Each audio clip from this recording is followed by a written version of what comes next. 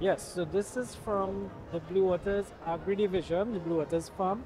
It's called Whitlock Estate and it's situated within the Blue Waters large coconut farm in Orange Grove, uh, Orange Grove Road, Trincity. All the honey you see here, we produce it on the farm at our ap- apiary. And the honey itself, the honey itself is packaged in what I would call export quality packaging.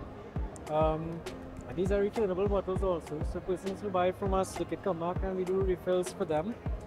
Um, some of our major customers at this point is like you would see our honey and PriceSmart and Starlite. All the honey is tested, certified. Um, sometimes throughout the year we would have honey in the jars with the honeycombs and honey dippers and all of that. Um, and the, the bees they would feed on the local fruits that we produce at the farm. So quite a lot of dry we do. And at the farm we also have soursop, um, cayenne guava, mangoes, plantains, uh, a lot of passion fruits, five fingers, sapula, breadfruit, citrus. So you get a whole nice mix and a flowers the bees would go to also. So you able to produce them without?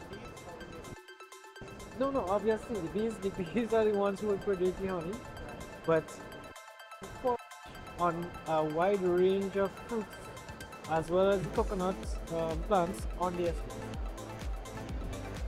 Right, so again, a very nice unique blend of honey. A lot of people um, they comment that they really like taste of our honey.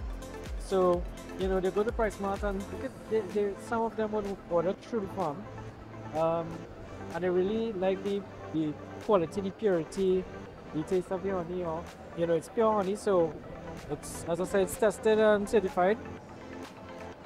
And um, recently we started doing now coconut water that we will package in these official bottles, and supermarkets starting to have some shelves. You know, is available right now, like in the True Value supermarkets, Food Hall supermarkets.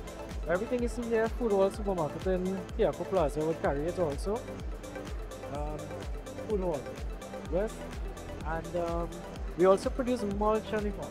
But many people don't realize this mulch is actually from the Blue Waters farm. And it's throughout the country we would have retailers who would carry our